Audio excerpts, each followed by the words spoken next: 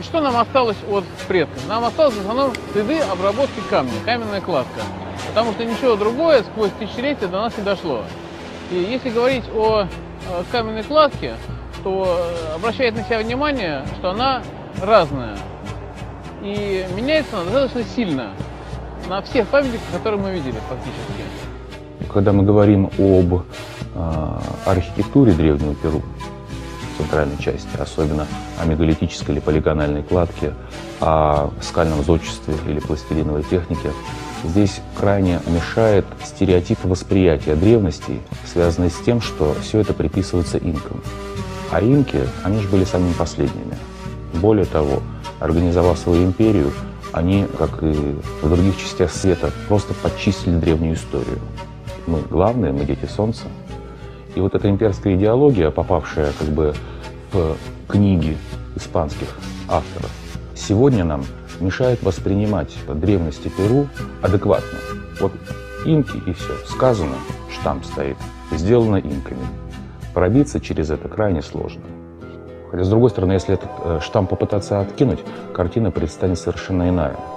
И архитектура перуанская сегодня, в общем-то, является одним из основных источников информации для попыток реконструкции древней истории этого региона. Но в таком случае надо переходить на язык камня и смотреть на древние сооружения с позиции не гуманитариев, а технарей. Анализировать особенности древних памятников прежде всего с точки зрения строительства и обработки камня.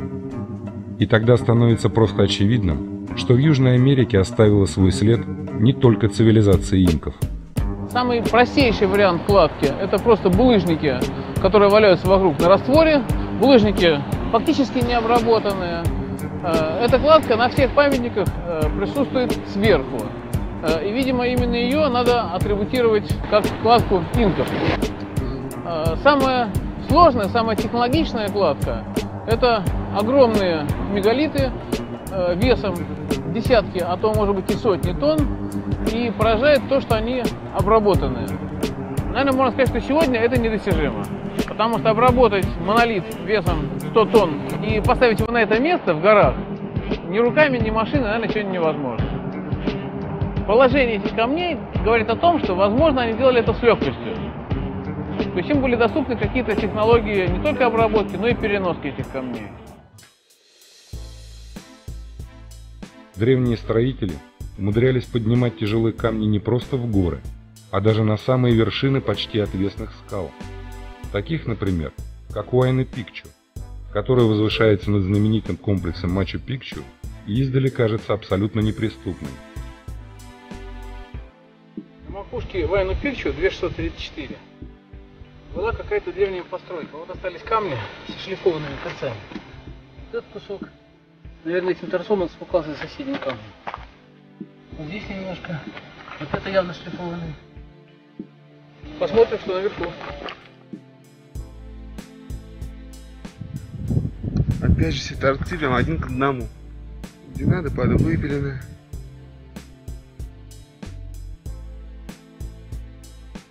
Тщательное выравнивание боковых поверхностей можно заметить и у блоков кладки.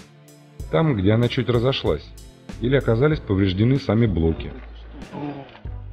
Вот здесь видно вообще, как отшлифована поверхность. Вот смотрите, здесь камень скололся, а здесь четко видно.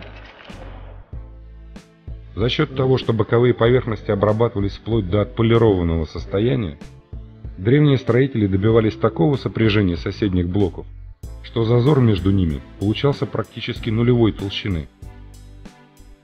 Очень все аккуратно рассчитано. С точностью до миллиметра, что называется. Точнее. То есть так, такое ощущение, что им было абсолютно по барабану. Как, так, как будто это вот деревянная деталь. Вот так. А нет ли бумажки? А, вот возьмем А4 простой. Вот там, где э, нет, не было подвижки. Вот. Он не пролезает. Не пролезает. туда. Такую плотность стыков можно видеть и у блоков гораздо большего размера. Я Тут так понятно, что это э, размер около двух метров. 2 метра на, на метр двадцать.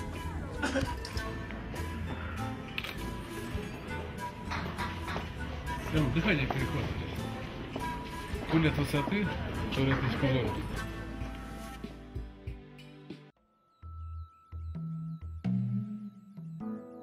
Есть вещи, которые можно объяснить достаточно просто, если отвлечься от того, что это громадный вес и то, что это гранит.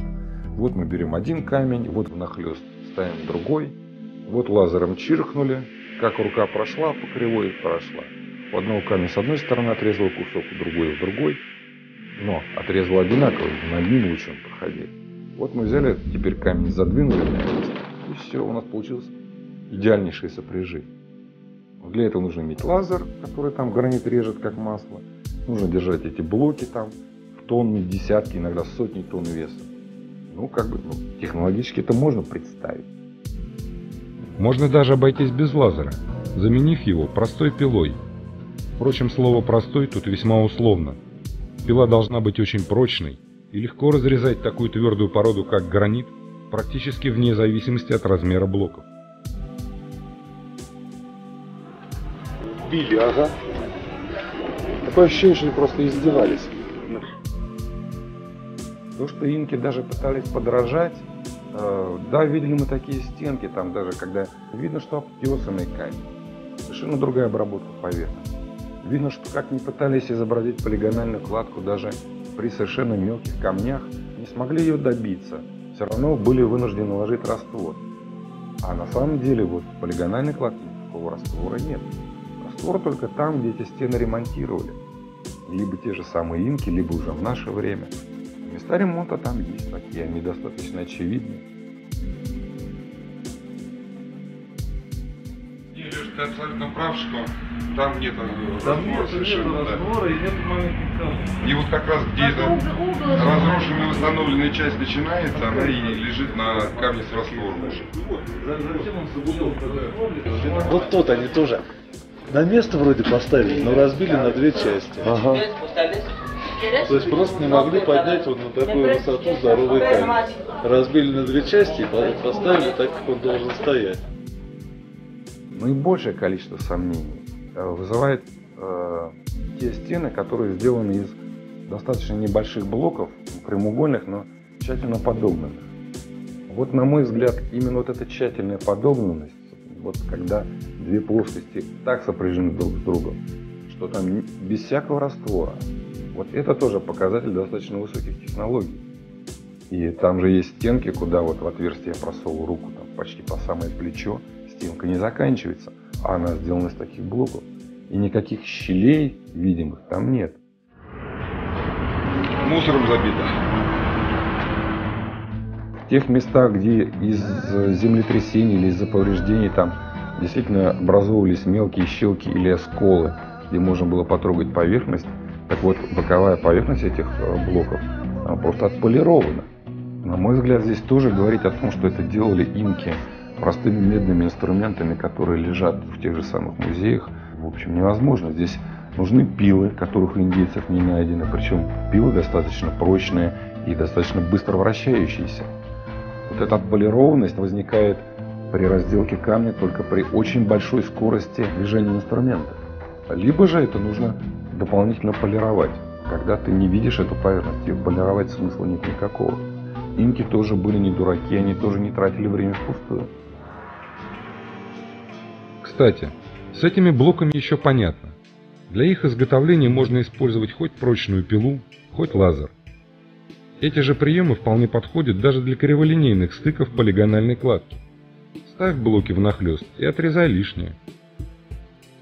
Однако тут есть такие формы кладки, где подобное оборудование уже не годится. Видишь, вот специально вот оставлен малюсенький выступ, чтобы здесь была смычка двух камней. Малюсенький, вот просто изменен угол на э, 20 градусов.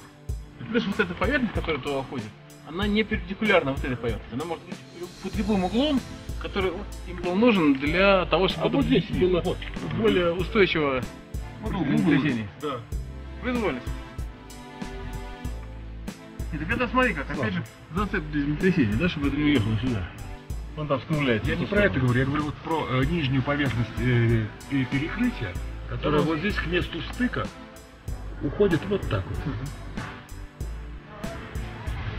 Ровная, ровная, ровная, ровная, ровная, и вот сюда вот. Подобное встречается не только в Ильентантамбо, но, скажем, и в Куско. Винт идет. Винт небольшой.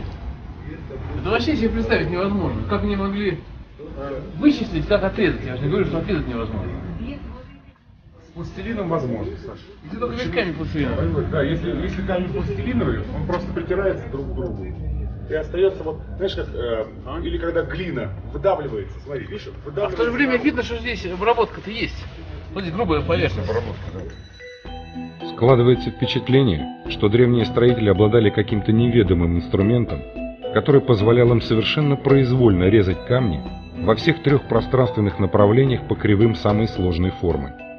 Причем резать не только отдельные камни, но и целые скалы –